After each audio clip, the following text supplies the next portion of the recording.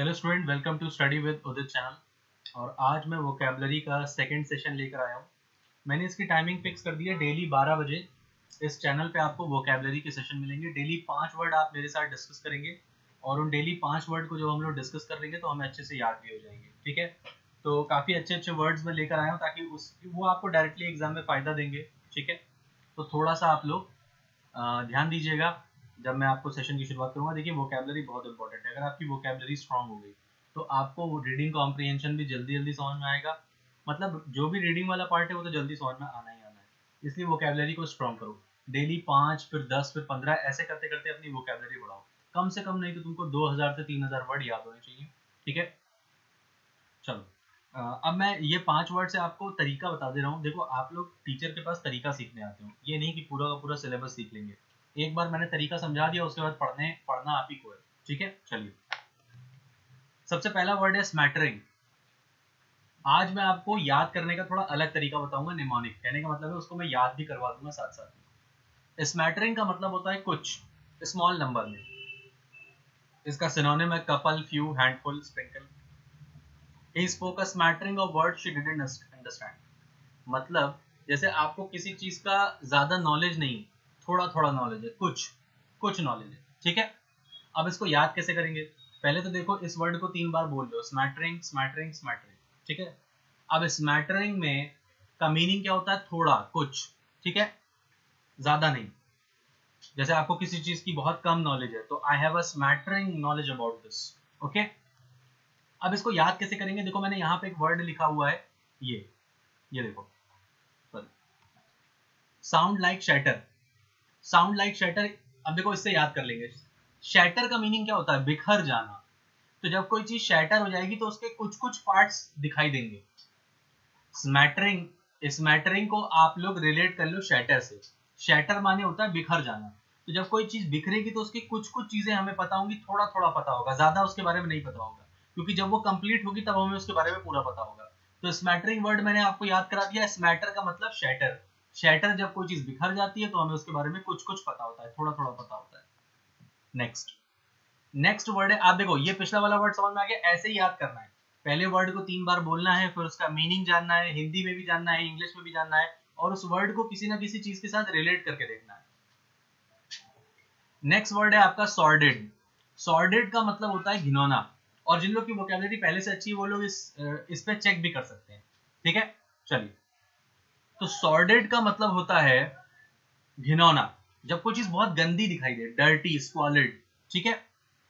तो जैसे मान लो अगर आप बात करो कि आप एक बहुत ऐसी इस्लाम एरिया में रह रहे हो तो वो सॉर्डेड उसकी गलियाँ कैसी होंगी? Sordid streets he manage to rise above the sordid streets upon which he grew up तो मतलब कभी कभार आप बहुत गंदी जगह, या फिर सॉर्डेड का मतलब घिनौना है। अगर मान लो कोई पॉलिटिशियन है, वो अपना पॉलिटिकल कैंपेन लॉन्च करता है, जिसमें वो बहुत गंदी चीज़ों का यूज़ करता है, जो मतलब बिलो द बेल्ट है। तो आप लोग कर सकते हो कि उसको मतलब वो बहुत घिनौनी चीज़ है तो सॉर्डेड कैंपेन भी कर सकते हो सॉर्डेड पॉलिटिकल कैंपेन ठीक है? तो सॉर्डेड का मतलब होता है घिनौना, गंदा, ठीक है? इसको याद कैसे करेंगे? सॉर्डेड सुनने में कैसा आ रहा है? सो डर्टी ये देखो।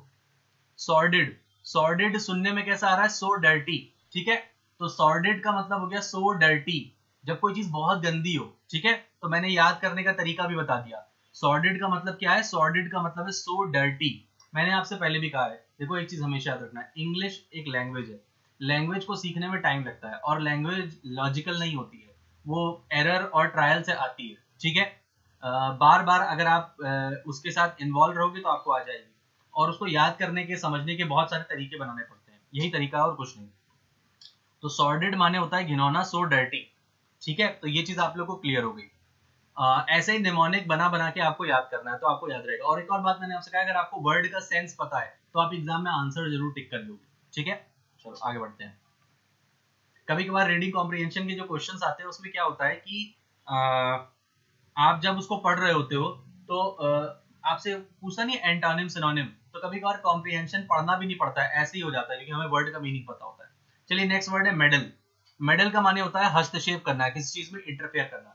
मेडल को तीन बार बोलिए, मेडल मेडल मेडल। मेडल का मीनिंग होता है हस्तक्षेप करना, किसी चीज़ में इंटरफेयर करना, ठीक है?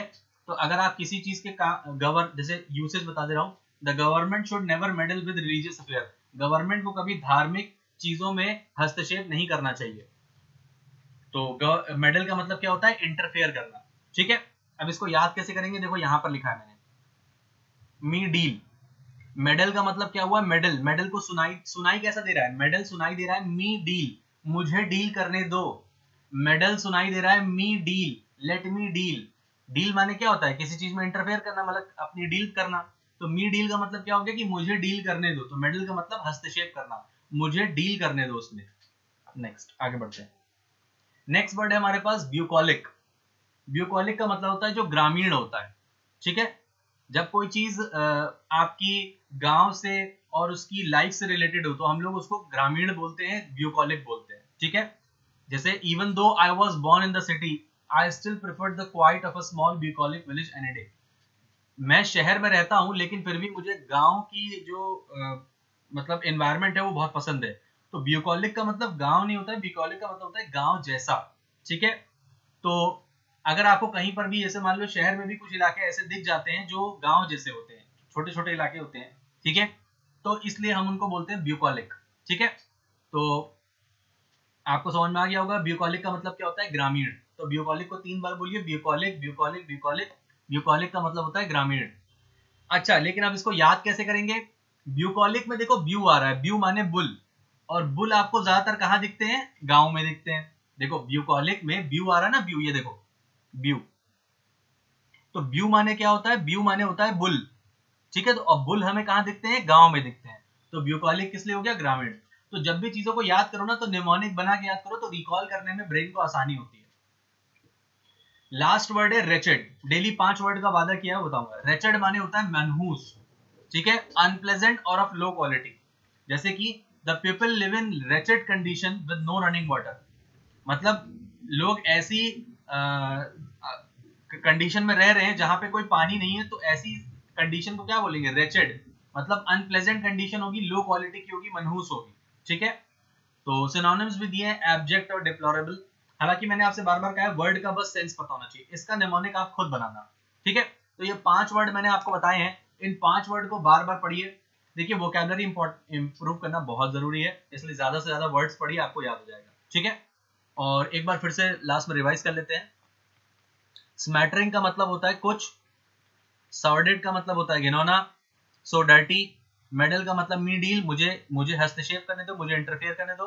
ब्यूकॉलिक का मतलब ब्यू माने बुल ग्रामीण, और रेचेड माने महनहूस तो इसका आप नेमोनिक बना के याद करने का तरीका कमेंट में लिखोगे। ठीक है?